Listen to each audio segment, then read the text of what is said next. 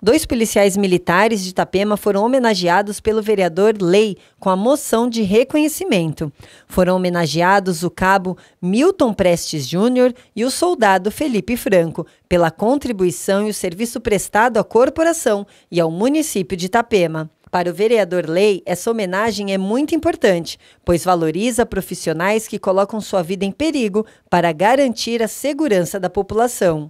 Né, a gente tem uma afinidade muito grande e todas as informações que eles levam com eles, né, mediante o serviço deles, eles são os policiais que vão afinco nas informações e faz as prisões que tem que fazer. Então, a homenagem foi para eles pelo excelente trabalho que eles vêm fazendo na cidade e sobre tudo isso aí, né, é a dedicação que eles têm pelo município. Então, para mim é sempre um orgulho homenagear alguém da Polícia Militar. Esteve presente na moção o Major Ulisses Rafael da Silva, que realizou a entrega junto com o vereador Lei.